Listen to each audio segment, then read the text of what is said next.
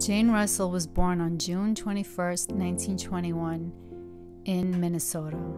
Her father was a United States Army lieutenant, and her mother had been a student of drama and an actress with a traveling troupe. Jane was interested in drama much as her mother had been and participated in high school stage productions. Upon graduation, Jane took a job as a receptionist for a doctor who specialized in foot disorders. Although she had originally planned on being a designer, her father died and she had to go to work to help the family.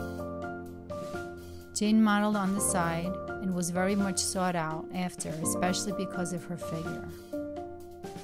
She managed to save enough money to go to drama school with the urging of her mother. She was signed by Howard Hughes for his production of The Outlaw in 1941. That film was to make Jane famous. The film was not a classic by any means, but was geared through its marketing to show off her ample figure rather than her acting abilities. The film was a smash at the box office. Jane did not make another film until 1945 when she played Joan Kenwood in Young Widow.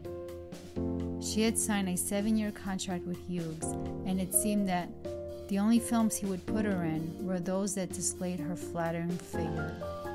These films did nothing to highlight her true acting abilities. The peak of her career was in Gentlemen Prefer Blondes with Marilyn Monroe. The film showed Jane's comedic side very well. Jane did continue to make films throughout the 1950s, but the films were at times not up to par particularly when Jane's talents being wasted in forgettable movies to show off her sexy side. Films such as Gentlemen Marry Brunettes and The Revolts of Mamie Stover did do Jane's justice and were able to show exactly the fine actress she was.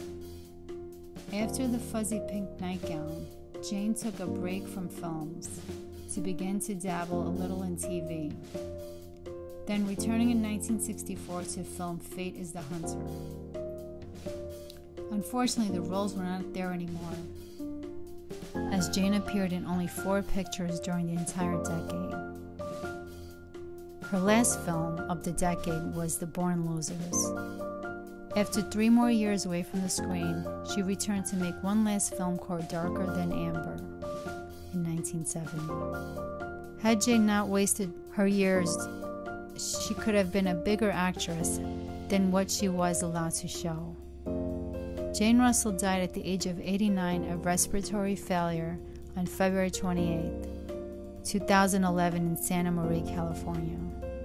Please enjoy the photos and don't forget to subscribe for more beautiful Hollywood videos. Fun Facts Library. See you next time.